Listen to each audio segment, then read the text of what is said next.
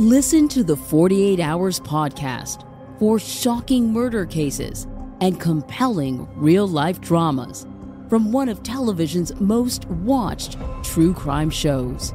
Go behind the scenes of each episode with award winning CBS News correspondents and producers in Postmortem, a weekly deep dive. Listen to 48 Hours wherever you get your podcasts. Inspired by the life of the savvy and ambitious Colombian businesswoman Griselda Blanco comes a new Netflix original limited series. Griselda tells the story of a devoted mother who, with her lethal blend of charm and relentless savagery, creates one of the most powerful cartels in history. Witness Sofia Vergara's captivating transformation into the godmother of the underworld. Griselda, streaming January 25th, only on Netflix. Hello, everybody, and welcome to Central Texas Life, the podcast. And it is a joy to welcome Oli Pettigrew to the podcast. You are that Englishman in Texas. Yep, there you go. It's that Englishman. There's only one of us, and it's me. That's right. It would be you. but you know what? In the last two weeks, I have interviewed two British citizens who were born in Hong Kong. Really?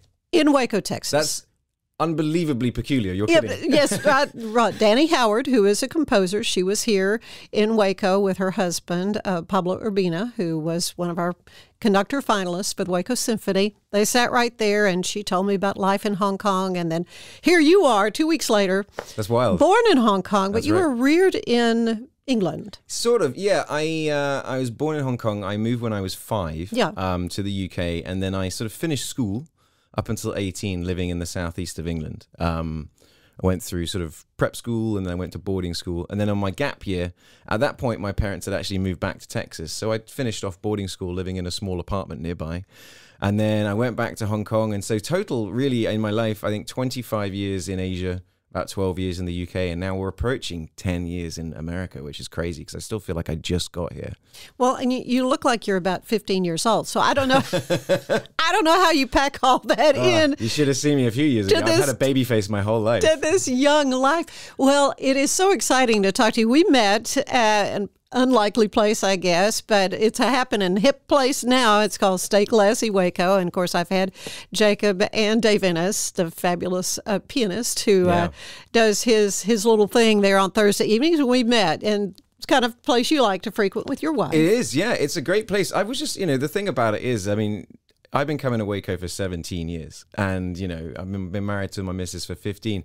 And I just remember when the only thing you could find downtown in Waco was parking because there was nothing to do. Yeah. You know, it was just a bunch of abandoned buildings. And now, I mean, in the last five years, the sort of glow up that Waco's got, and the fact that I can go to a bar that's got a speakeasy in the back and it's got that kind of New York feel almost it does. It's, just, it's wild to me. Yeah, it does. And you are the consummate jet, jet setter. I mean, you have lived all over the world. You've Yeah. traveled all over the world with your work. Let's talk about your work. I mean, you have packed a lot in your young life when it comes professionally. Yeah. Because of all the shows you have done. Yeah, it was very lucky actually. Um, I on that gap year I was talking about when I went to Hong Kong, my mum just basically pushed me into going into a modeling agency. Um, that was on a Monday. My first Because she says, my kid is so yeah, cute. just, you gotta get, you gotta sign him up.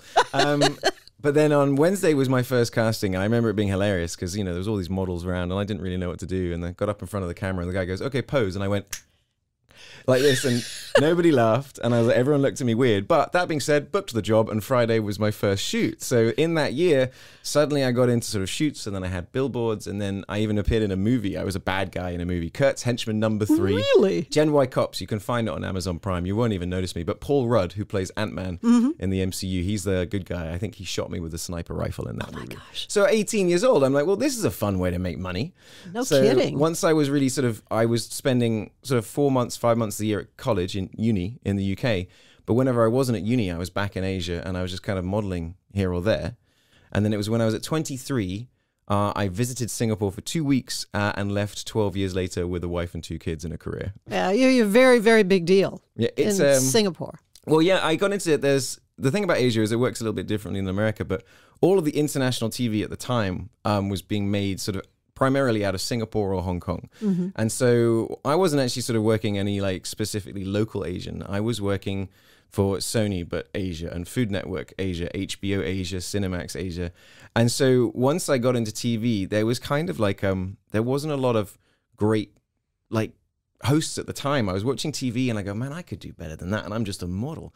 And so, um, you know, when I was modeling, I started doing TV commercials. And then these production companies that made these TV commercials, they started getting into making um, television shows. And they just remembered this model that never shut up. And it was like, people were like, you should do that for a job. And I'm like, oh, okay, I'll give that a go. And so I had um, until September of last year, um, I think the first show I did, I think, was the World Cup 2006, and I went from one show to the next show to the next show to the next show to the next show for 16 straight years. Well, I So- know one one year you were doing like six shows at a time or Yeah. something. I don't know how you did all that. Yeah, neither do I actually. In retrospect, when I think about it, but um, it was very much a feast and famine kind of thing. Yeah. Um, so all the productions would kind of get pushed towards the end of the year, and yeah, I got one job, and then they called their buddy, and so I yeah I started off on uh, Cybermax on on AXN, and uh, then they called their friend, and suddenly I was on Lonely Planet, and then they called their boyfriend, and suddenly I was on HBO Cinemax, Mm-hmm. and just it, all, it was all kind of word of mouth, and um, and That I just that is of, just a magical career. I mean, Yeah.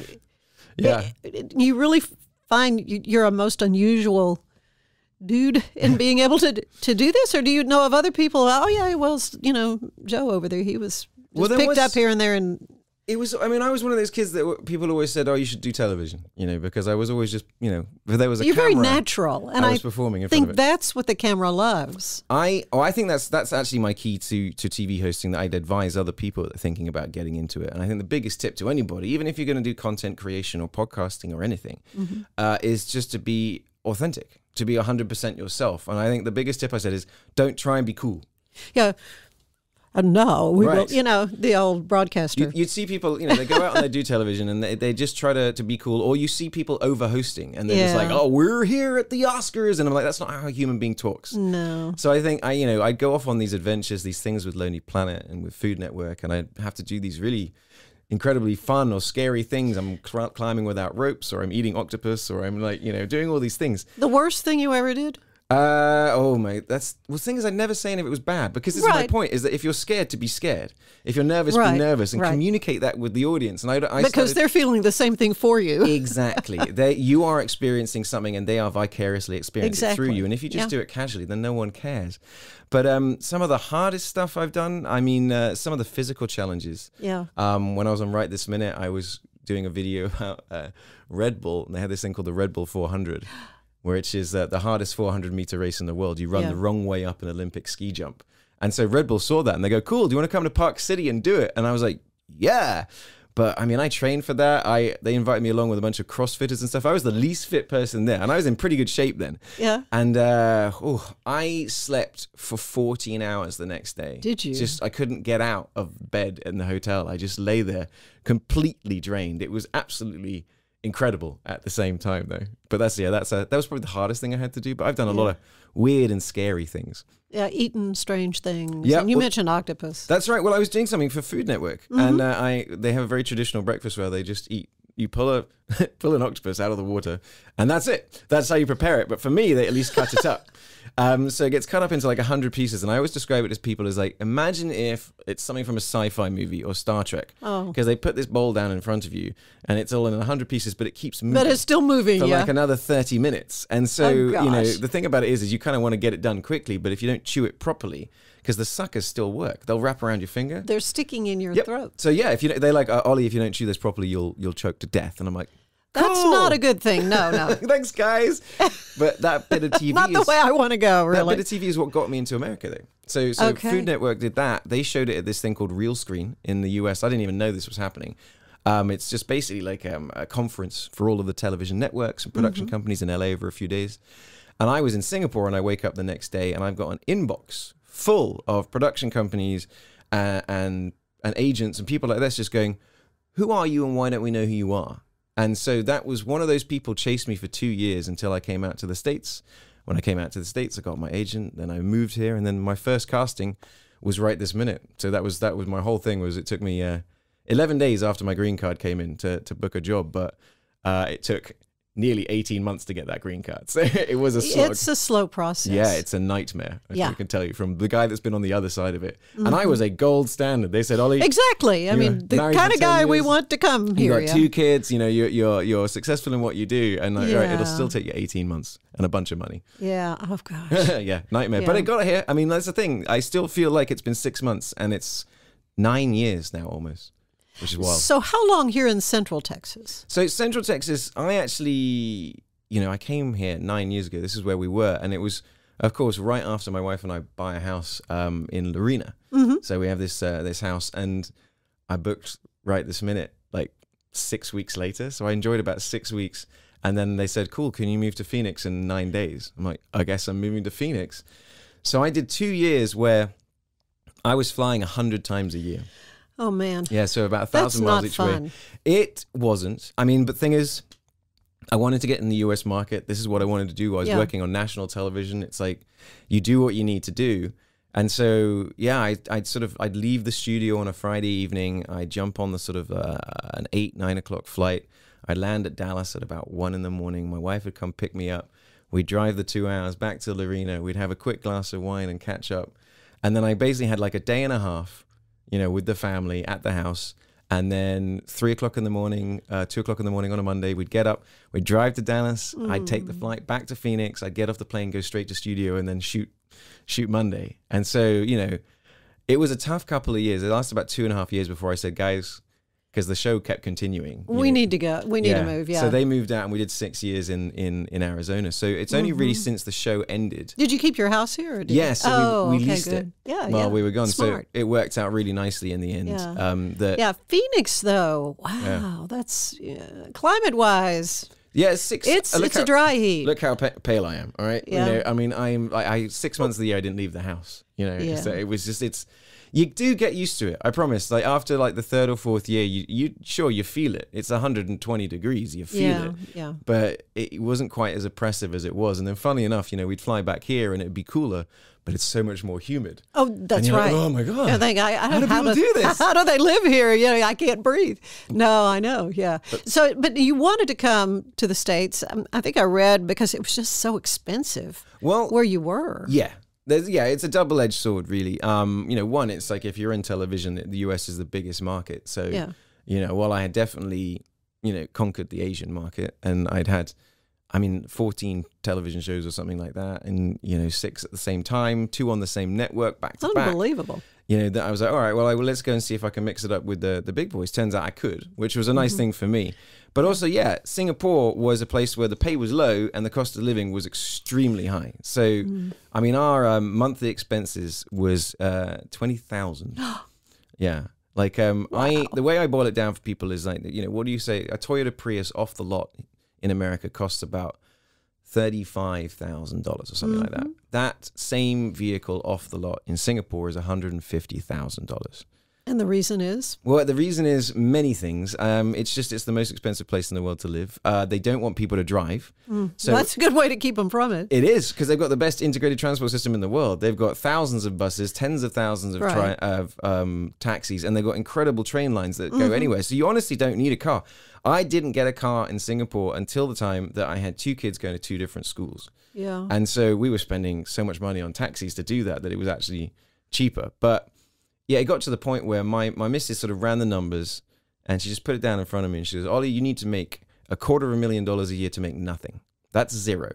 Just to break even. Yeah, that's where we then start making money. And, you know, it was Asia was just a completely different way because television was great and they certainly made you feel famous. And I got to go to the premieres and be dressed and go to the Gucci place and pick out what I wanted to wear Fun, and front yeah. row of the fashion shows and all these sort of things and the meet the celebs and everything else in between. Um, but they honestly didn't really pay you any money. It was terrible. You you made your money by doing live events. You got famous enough that other people hired you to get on stage, and that's where you could make your you know a little mm-hmm. bit of extra cash. So, you know, when we came out here, we bought the house and the arena and three and a half acres for less than a Toyota Prius cost in Singapore. So, and at that point, you know, it kind of made sense. This this makes sense. Well, so you were a huge hit here stateside with a wonderful show, and I was sharing with you earlier uh, at KXXV. We have these monitors all around the newsroom, and I'd be working during the day and look up, and I'd see this cute show of people showing these funny videos and just sitting around talking and having a good time. That was your show. That was us, yeah. Uh, because we were Scripps station, and I think that's uh, EW Scripps was one of the owners of, yeah. of the show. Well, yeah, it was uh, kind of unique actually for the show is that we actually had three different station backers all exactly. at the same time. Mm, Cox and uh, One of the Raycom. Raycom. Raycom Yeah. We also at one time were owned by Raycom. Yeah. So I have ties to all these So these the- corporate entities. That was great, but it was also the tough part was that when we lost, so we were kind of like a tripod, Mm-hmm. um, and then in season eleven, um, one of the legs pulled out, and once it's gone, you just okay. Yeah. It's the business side of show business. It just uh, it happened like that in the blink of an eye. In the Oh. um, it's uh, it happened in the space of about thirty six hours. It all just went. That was it. Oh my goodness. It happens quick. Yeah. Yeah, yeah. Uh, your your compadres, though, your colleagues there on the show, you're all friends, and Yeah, and they're the most of them thing. still in Phoenix, right? Yeah, they're all still in the valley, um, bouncing around. We're all doing our own thing at the moment. I was saying I was just talking to Nick from the show, seeing if we want to do a podcast together. But uh, is um, the, that was the toughest part, really. The show ending is just how much of a family that place was. I know people say that, but this one really was. I mean, of all the projects I've ever worked on, I've never experienced anything quite like it. Um, the studio when we were there pre-COVID um, was such a fun place. There was no hierarchy. So there was a hierarchy of work. There were producers and executive producers and hosts and sure. editors Yeah, and everything everybody has their role. but we were all just the same. We were all just goofed around. We had so much fun. We had parties at my house all the time with like 30, 40 people there. And we just, so that was the toughest part is the breaking up of the family. And then especially us hosts, you know, people used to sort of write in or call in and just say, wow, you guys seem like you really like each other. Go, oh, it's because we do. We hang Yeah, out. that kind of thing you cannot fake. I, I cannot. know when you work with a co-anchor, you know, it's you don't fake that. Right. Sometimes Um, you got to grin through it, but yeah, doing uh, doing right this minute was just hanging out with my mates all day, Yeah. watching the internet. So I was paid to do what everyone else got know. fired for doing. I, I, I knew enough about the show just watching it from my desk, looking up, going, they are having so much fun. Yeah, How do of- you get that gig? a lot of laughs. Uh, a lot of laughs that one. Um, and it was honestly that was interesting for me because a lot of my shows had done it would just been me. You know, so right, the lone. yeah. Ranger, so, so so suddenly to I'm joining. Uh, yeah, suddenly I'm joining on uh, a team of you know there's five of us um, at the table, and I was like so. And that was a really interesting thing as well, is because I've done every kind of show you can imagine up until coming to right this minute, and I, you know, I still had things to learn. That was what you know. I hit the ground running, but I was really, I was watching, you know, Beth, she was the original host, and Nick especially, and watching. Okay, how do you do this? How do you tell these stories? How do you? Okay, all right, all right. And then I kind of put my own spin on it because we were kind of told, don't look at the camera, and uh, and I'm like, no, uh, that's what I always do. That I like to bring the audience in. So these things called a, you know, my some of my directors used to call it um, pulling an ollie. Is when you kind of give a look to camera that makes everybody laugh, or Yeah. um, or right, that taking a little aside, like bringing them in on the joke. Exactly. Yeah. Or, or like um, something else that say there's, I'm always quite good at uh, boiling down something very complicated into something very easy to understand. Mm-hmm. And I also would like to do that. I'd pull the audience in. And so it kind of changed the way the show was kind of done because the guys all started doing it. So now we've got like a, a fifth or sixth co host being our audience and just involving them. Exactly. And that's when it really kind of like started uh, connecting with people. And we got some. Some great messages and some wonderful fans. They still message us saying we missed the show. I mean, I missed the show too. But um, you know, all great thing, you know, all good things come to an end. Yeah, yeah, and and some things can can outlive their Right. their. So sometimes it, it it all works out for the best. Huh? I mean, in the world of television and syndicated television, for a show like that, the little engine that could, to last eleven seasons, that's remarkable. pretty wild. That is remarkable. Well, what you're doing now is so much fun. and it was just sort of a top of mind. Here I am in Texas experiencing things.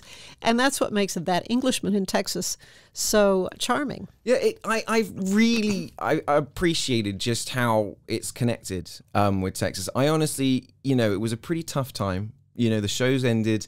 It was a pretty stressful time selling our, our house in Phoenix and relocating, and the kids having to switch schools, and so there was a lot How of. old are they now? They're uh, they're both freshmen. yeah, they're, they're yeah. 14, 15.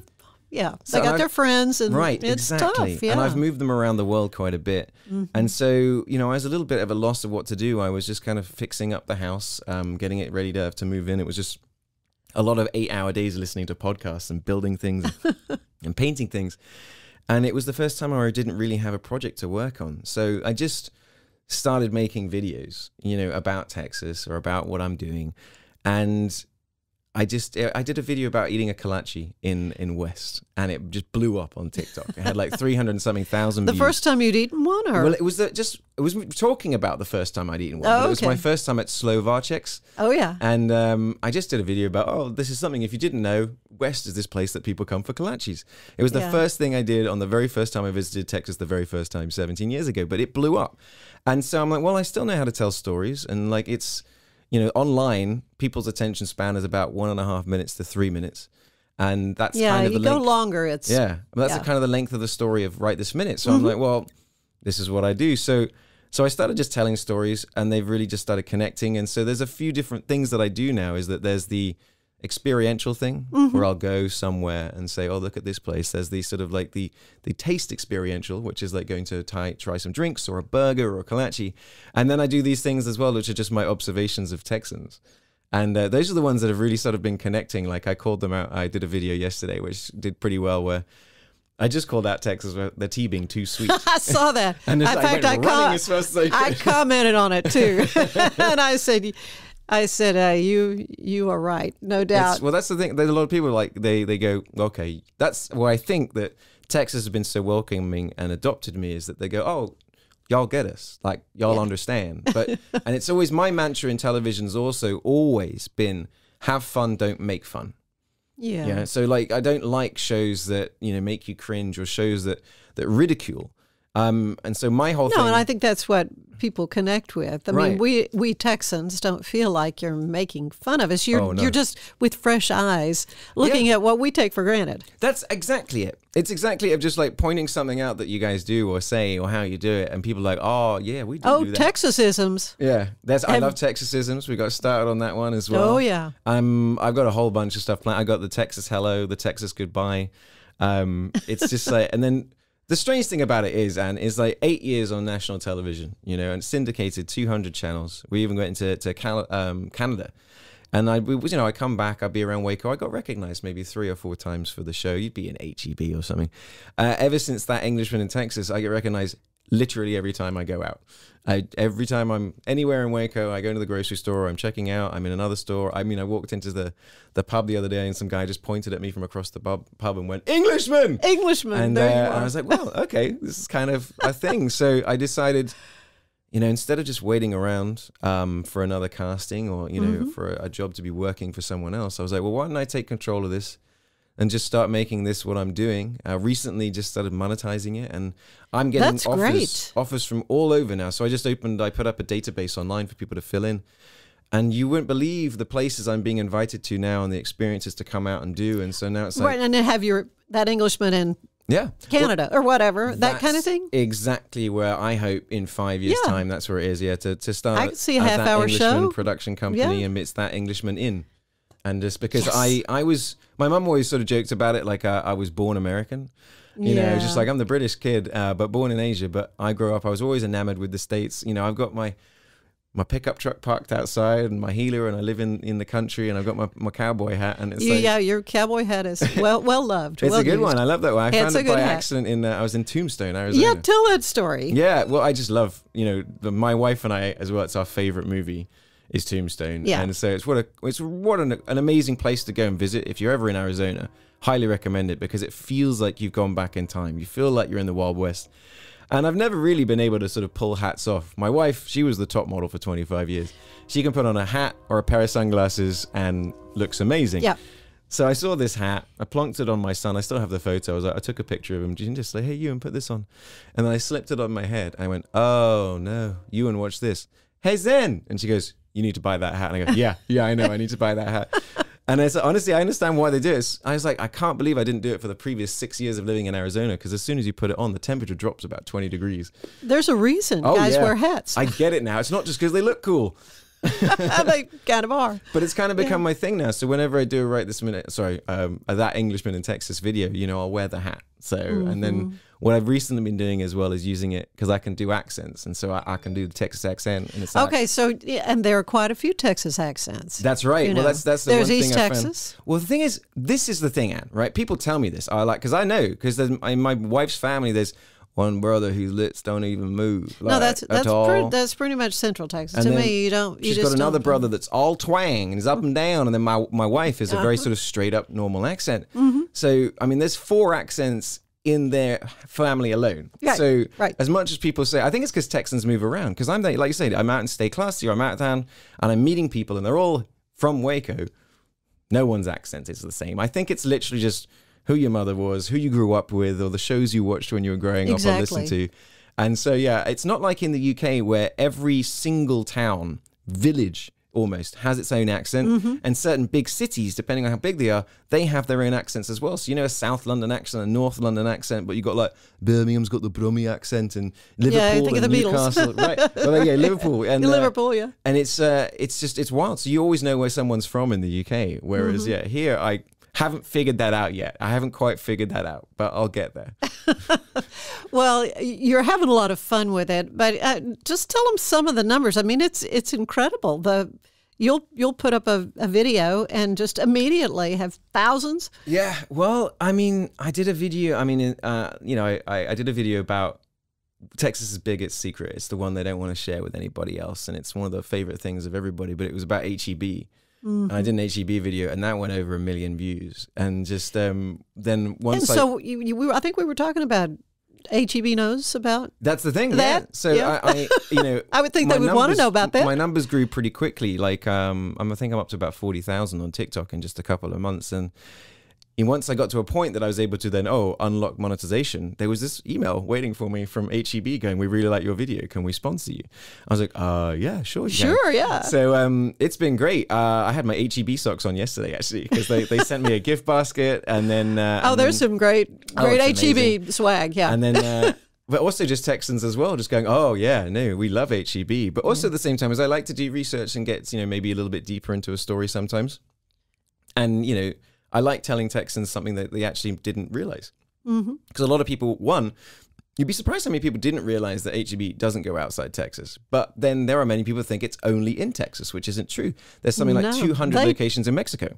It- really, yeah. In in Mexico, and just recently they were in Dallas. I mean, they were Yeah. not as far north as Oh, Dallas. I remember when that was a big deal. was about the north as it as it went. Exactly. You know, I mean, that's Yeah. the thing. So Yeah, but but in Mexico, yeah. Yeah. So, but again, a lot of people didn't know that. I did a video about the uh, the official state motto of Texas, which kind of blew up on Facebook. I think it's about hundred thousand there, but it was one of those things that people didn't actually know what it was. Neither did I. That's why I googled it.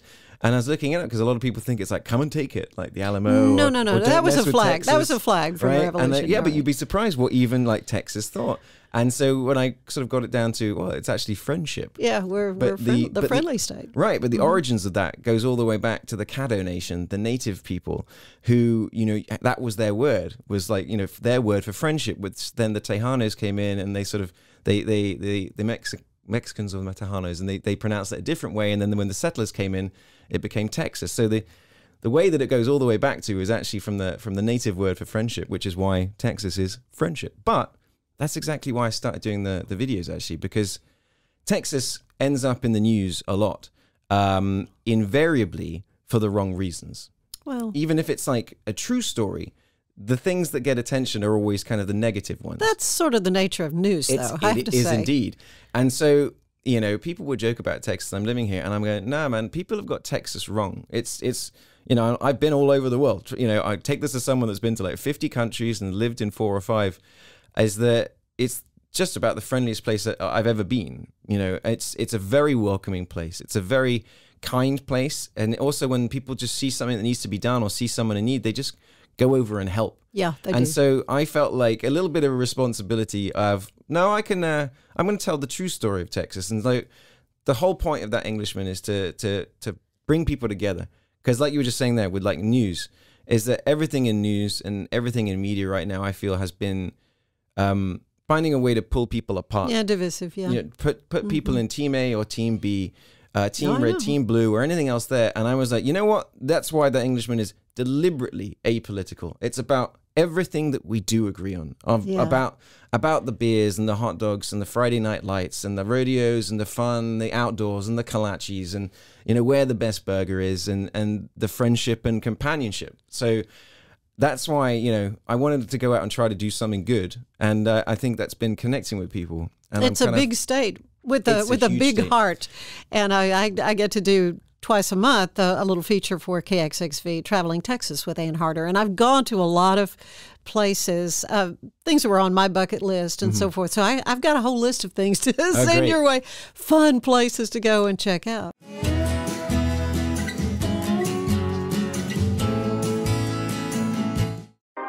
Nine one one. What's your emergency? Do you hear that? It's coming from the house. It's coming from inside the house. Uh, do you mean? Could it be? The Poltergeist. New from Rogue Media. Two haunted hotties talking about haunted places. Every episode, we dive deep into the darkest places and give you a bit of history. We're getting spooky in all the right places. You've gobbled your last ghoul. Follow along for the craziest and spookiest stories with Debbie's Dark Tourism. The Stanley Hotel, Winchester House, The Alamo, Hotel Monte Vista. and more spooky places. Find us at the underscore poltergals. P O L T E R G A L S. Look over your shoulder. It's us, The Poltergals. Wherever you consume the podcast, you can find us there.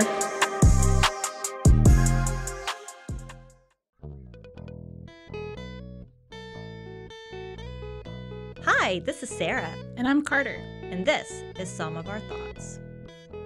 We're two Southern sommeliers, and we want to share everything we love and know about wine. We started hanging out during quarantine and cooking and drinking and listening to music, and we just thought this would be a great way to bring everything we know to you guys. We will make wine knowledge and food pairings easy and approachable. So put on your favorite vinyl, grab your favorite glass of wine, tune into our show, and let's have some fun. Wine and vinyl. So check us out on roguemedianetwork.com or wherever you get your favorite podcast. We'll be talking about a lot.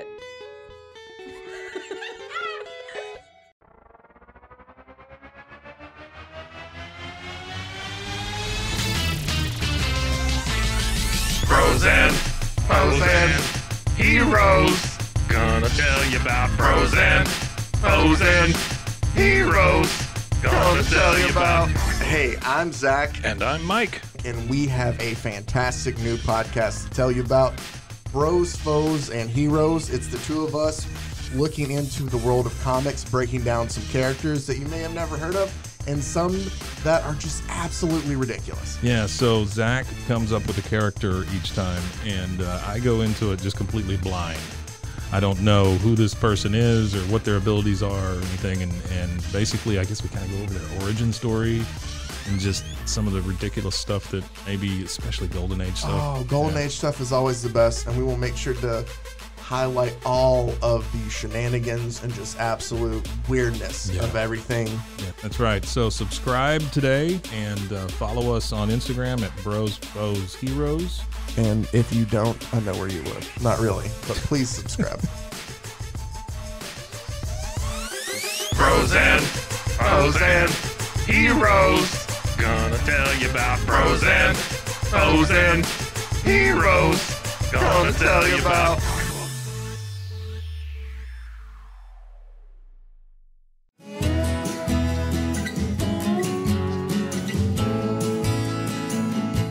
I, really want to, you know, honestly, do want to make this the thing that I'm doing for my for my job, um, because like you said, it is a huge place. There is a lot to do. Um, there's lots of stories to tell. I really do want to get out and explore the state and get out to like I was down. Um, you know, I always feed it out into the comments. You know, let me know somewhere to go. Let me know, you know, a place that would be fun to visit. And one of the ones that came out was during uh during the ice storm. They were all trapped at home. So I did a live video on Facebook and I said, look, just for fun, uh, I know you guys like doing this kind of thing. Send me the names of Texas towns and I'll, I'll try and pronounce them because there's some really weird ones here. Yes, there are. And uh, one of the ones that got sent was um, one Andice, right? It's Uh-huh. a teeny tiny town of about 25 people. It's about 60 miles from here. Yes. And uh, but as soon as someone put that comment, there were three comments that came up back to back to back, saying, "Oh, best burger in Texas, best burger in Texas." They got this tiny little place. It's literally the only store, the general store, in in the middle of town. So it was like last week. I said to my missus, it was a Wednesday, and it was noon. I said, "Honey, do you want to?" Should we just road trip down to Andice and try their burger? And that's you know, I made a video out of it, and it's of course when you say, "Well, is this the best burger in Texas?" You get 700 comments going, "Actually, this is the best burger." Oh, in no, no, no, Texas. no. Yeah, yeah. You got to come visit this place. But that's Yeah. exactly what I'm looking for because it's very Mhm. much crowdsourced. Because my experience of Texas is, um, you know, I've been lucky enough. I've been a little bit to Dallas. I've done a fair few visits to Austin. I love San Antonio. The Riverwalk is a place Mm-hmm. Oh, that's very close to my yeah. heart. I've done a couple of different trips down there. I barely know Houston at all. I mean, I've I went to the Texans Stadium once because one of my uh, my brothers-in-law was a coach for a team that went to state, so we're all Mhm. at the game watching the state game, Oh, which yeah. is you know quintessentially Texas experience. But I've never actually been into the city. I've just Yeah. experienced the ring road, which is a nightmare. Oh my goodness, yeah. that, that loop is It is a monster. is, it is terrifying. some- is something. Yeah, yeah. Houston, Houston's uh it's it's got its own vibe. I mean, they're very very different than Dallas, and Oh, and yeah. of course Dallas very different than Fort Worth. I mean, it's it's interesting how the big cities. So, what kind of vibe would you say Waco has? It's so different. I mean, the thing is, and 17 years ago when I first came out, you know, it was, you know, Waco still had that that reputation, had the, the the story we'd all been watching when we'd been younger, and it had been on the news, and it's like it Oh, feels yeah. like it had been bleeding into the background, and oh, it was like a place. I remember, you know, I would go watch Baylor at the old stadium, you know, Mhm. back when Baylor just lost all the time. and it was like, Oh, yeah, lived through wanna- all those days, Do you want to come watch Baylor lose? Yeah, okay, cool. Yeah, why watch? Baylor lose Of and course. eat some popcorn. Um, but like it's it was around the time I remember I was here um, for a while, and it was just during the resurgence of the Baylor team. I went down to watch the Alamo Bowl uh, in Mhm. San Antonio when RG three was quarterback. I saw that game. You know, I was Yeah. screaming my, my lungs out watching them Sure. play. But then it was around that time, so money comes in because of that. You get the new stadium, and just the way that, that Waco has glowed up in the last eight years is, is incredible. Um, yeah, it truly is. especially in the last like three years really i mean apart, like the pandemic certainly you know put a dampener on things for a while but i used to say to wake call waco to other people and i go it's the on the way to city you were on the way to dallas you were on the way to san antonio Exactly. you were on the way to austin you drove through waco whereas now waco is a place where people are coming you know, mm-hmm. people are choosing to move here. People are choosing to come here for events. You've got food truck festivals and Dia de los Muertos and movie festivals and all this other stuff that's going on. That Waco's now got its own sort of vibe. You know, depending on where you are, downtown you've got this sort of little mini Austin feel. You Yeah. know, you got that little that little vibe. But then you get down kind of by the river in Cameron Park.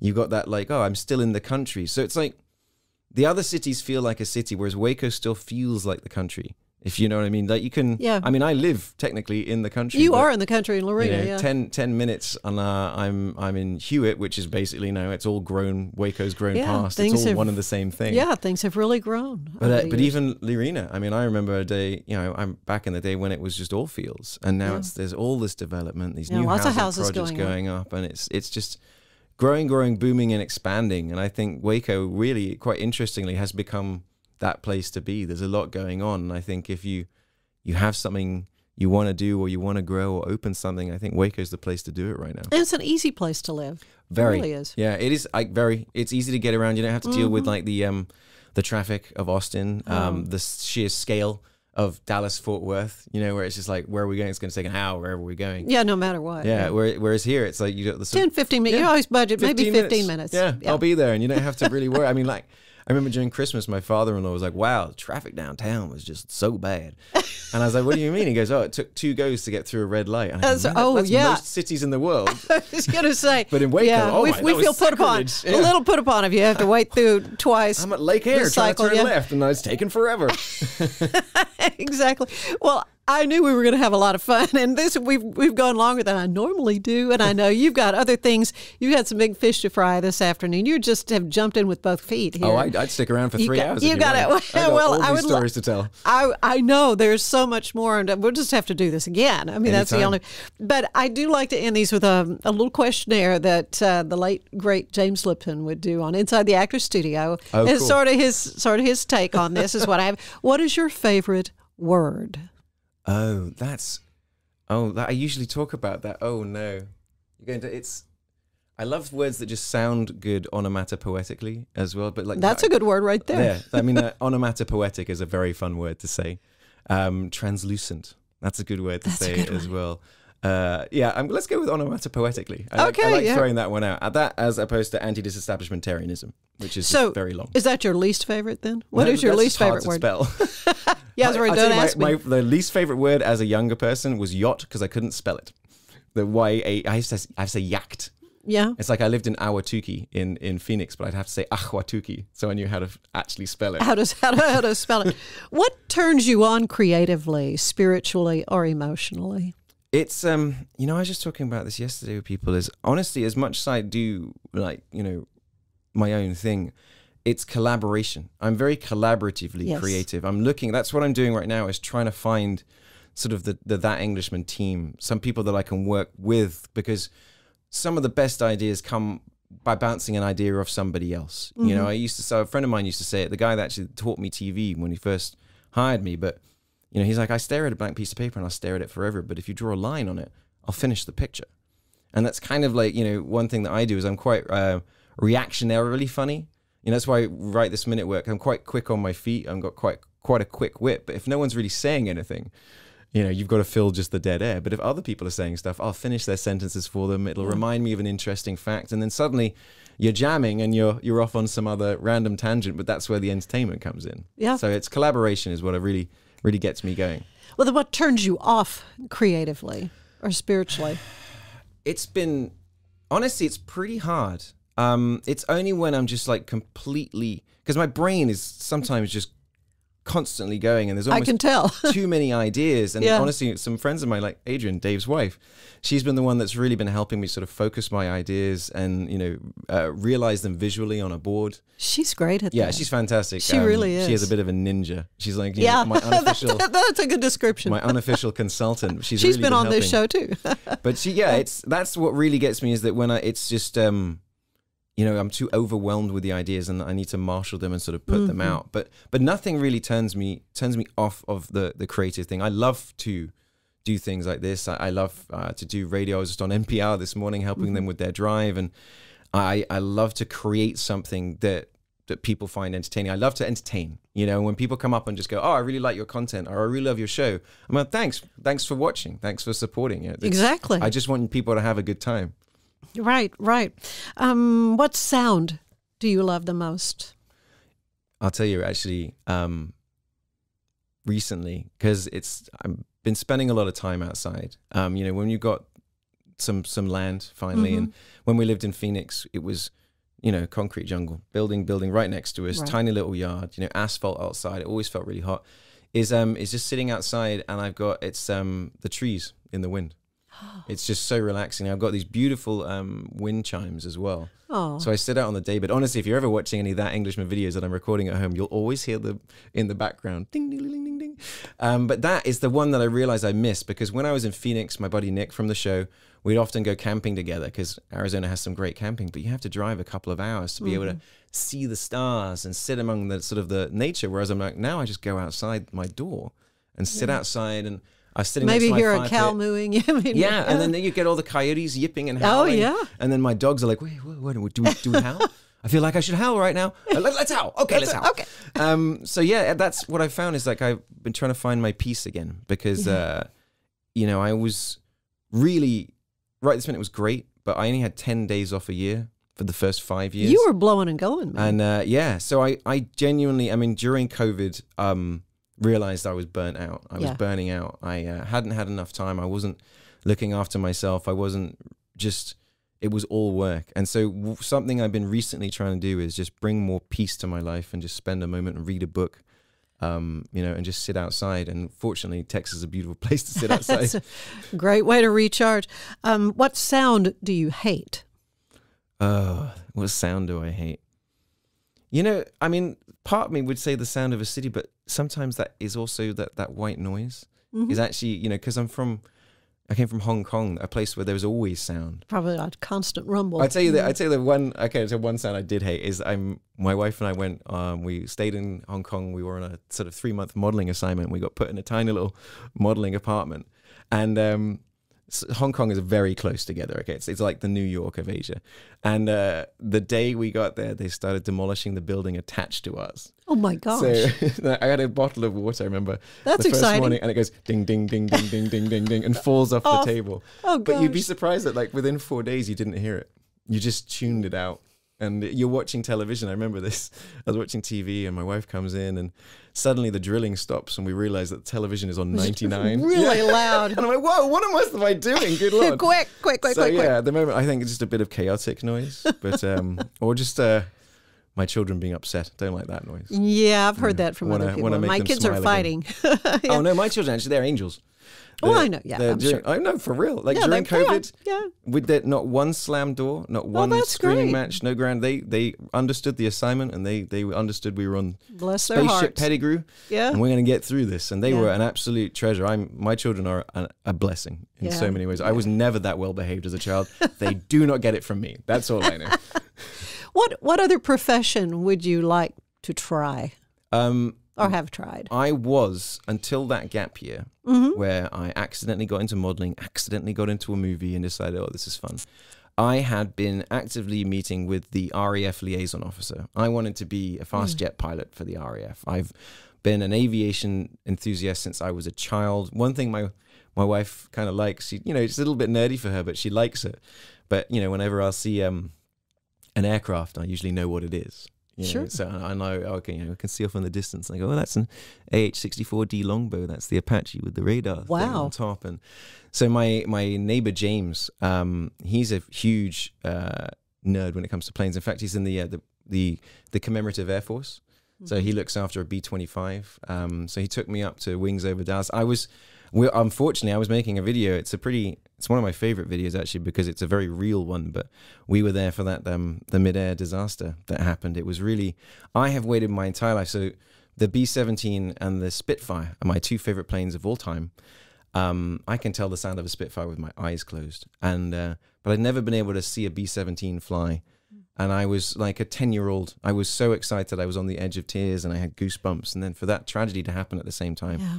was uh, really um, hit me right in the gut actually. And I was making a video about it, and I decided that I was going to tell the true story. So I edited the video exactly as the experience was. So it's a really, really happy video up until the moment. And because everybody else is doing the story about the crash.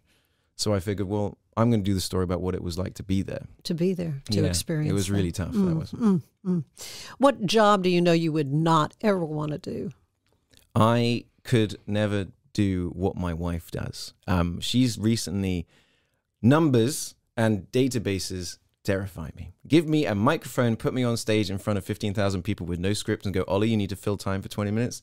I'd much rather do that, right? That's something that basically is a nightmare for, for everybody else on the planet. Is Sure, yeah, speaking. that's public speaking. Yeah. Yeah, so my wife, she just uh, she's now sort of gone out on her own. Like she started her own bookkeeping uh, company. Actually, if anybody's looking for bookkeeping services, Oleander Bookkeeping right there. But because I told her, I said, Zen, you don't realize how much numbers like this give people anxiety. Yeah. It gives people, and she takes joy from it. She sees it as a puzzle that needs to be solved. There is nothing more satisfying satisfying for her than to press the button and it reconciles to 0.00 and she'll just come in and she's doing a dance. I did it. Yeah, I well, that that for me is if you wanted to sort of torture me and find out where the rebel base was, if this was Star Wars, it'd be like, do some bookkeeping. I go, oh, they're on Yavin 4, just go get them. reconcile this account right no, now. that's not for me. So yeah, that's right. that's but that's why I think we work so well as a couple. Is Yeah. that we uh, we work we're very very similar, we're also complete opposites at the same time. Yeah, you complement one another. yeah, beautifully. But she's a yeah. my team, my teammate in everything. hmm Finally, what do you want to hear God say to you when you arrive at the pearly gates? Not you. or he goes, hey, you know what? You made some pretty funny stuff. I mean, honestly, I try to live as a good person. Yeah. You know, I, I do. I try to bring joy into people's lives. Um, I try to be positive. I try to find the positive in everything. So, yeah, and maybe it's just welcome in. You know, that would be quite nice.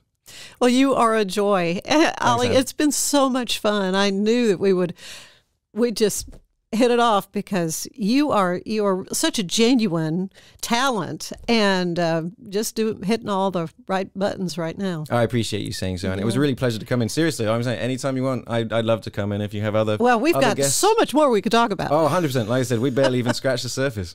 Oh, Oli Pettigrew, that Englishman. Yep, that Englishman in in Texas. Yeah, in Texas. Look me. for the black hat, and and they can find you. That, I mean, that's your handle. TikTok, uh, Instagram, and then if you look up that Englishman in Texas or Oli Pettigrew, you'll find my Facebook page as well. I put the videos out there, and I'm about to uh, also start putting out some longer form videos on, on YouTube and things like that. Very good. All the best to you, Thank Oli. you so thank much, you so much, and thank you for being with us. Join us again. Bye bye.